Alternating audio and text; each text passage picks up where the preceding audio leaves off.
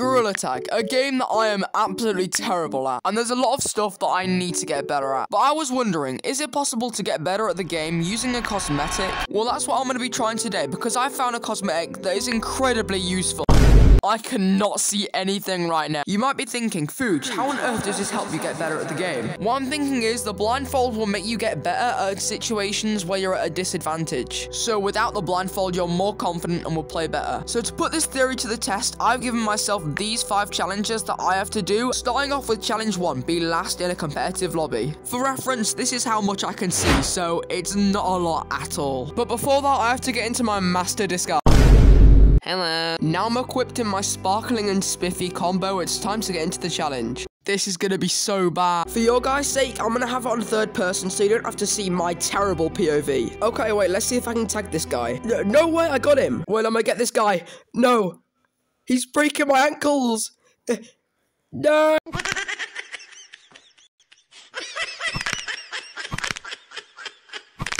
How can I not get it? At this point, there was only one guy left, so I just had to tag him and then the round would restart. Boom, the round restarted and I instantly went to go and hide. I feel way too vulnerable here, I'm gonna go and hide somewhere else. I decided that it would probably be better if I run around and try and use my skill to avoid the lava monkeys.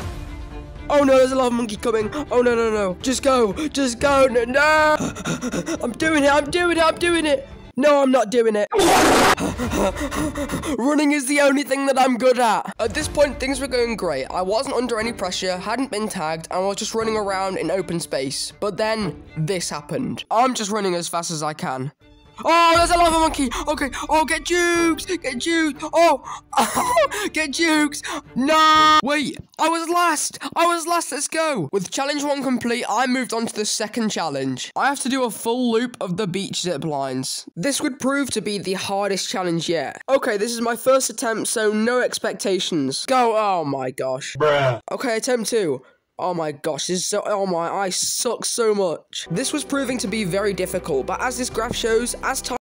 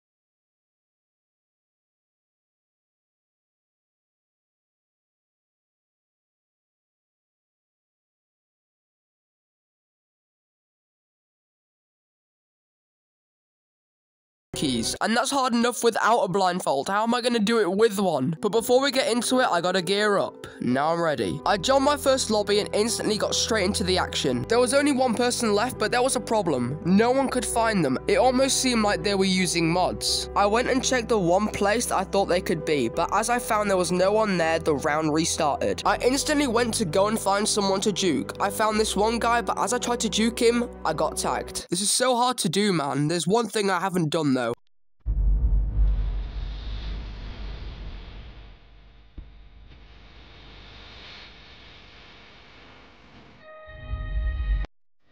Ah, Fooj, I've been expecting you. Hello, Gorilla464. Master, I'm facing some really tough challenges right now, and no matter how hard I try, I just can't complete them. What do I do? So Fooj, you've forgotten when you were just a small monkey, I used to teach you something very important. In times of difficulty, utilize your body and your strong arms, for it makes your soul strong. Thank you, Master, for your wise words. Go, go, go, go, go, go, go, go. Go, go, go, go, go.